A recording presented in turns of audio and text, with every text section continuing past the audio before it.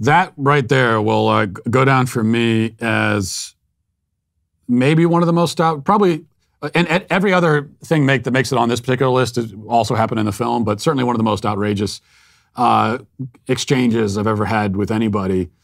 And of course, see this this is what happens when you start asking questions to to the to the gender to the proponent of gender ideology, is um, they you know they start they end up backing themselves into various corners and they have to make um, increasingly more wild sort of claims to get themselves out of the corners that they've backed themselves into.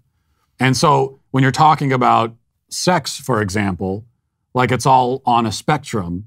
And uh, sex is something that is, as she says in, in our conversation, she says that sex is uh, assigned at birth, that just like doctors are just uh, deciding this kind of arbitrarily.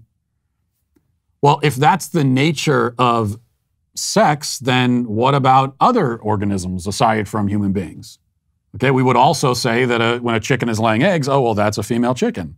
Are we assigning that? Is that, is that, is that just something we've decided that the chicken is female?